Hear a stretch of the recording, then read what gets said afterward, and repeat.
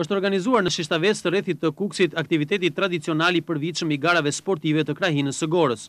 Mes banorëve të Shishtavecit, Topojanit, Zapodit dhe shumë të tjerëve nga qyteti i Kukësit, merrnin pjesë dhe Presidenti i Republikës, zoti Rexhep Mejdani, si dhe nënkryetari i Parlamentit, zoti Namik Dokle. Në përshëndetjen e tij drejtuar banorëve të zonës, Presidenti i vlerësoi veprimtaritë e kësaj dite si një punë të vyer për zhvillimin dhe pasurimin e traditave të zonës, të cilat, siç theksoi ai, duhet të kultivohen në vite dhe në breza kuksianësh. Duke u ndalur në zhvillimet e Shishtavecit, Presidenti tha se ju jeni një portë e hapur, një pjesë e integrimit rajonal dhe evropian të të gjithë vendit. Duke punuar të gjithë së bashku, duke vendosur çdo tullë së bashku, arrijmë që të realizojmë atë shprehje të madhe popullore që guri mbi gurin bën murin.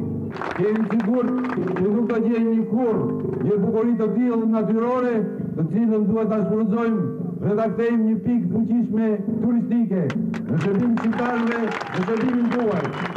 Pjesëmarrësit e aktivitetit i përshëndeti edhe biznesmeni Shyqyri Duraku, i cili ishte dhe sponsori i kësaj dite sportive, gjatë së cilës u zhvilluan gara të hipizmit, kërcim së gjati, hedhje guri dhe mundje.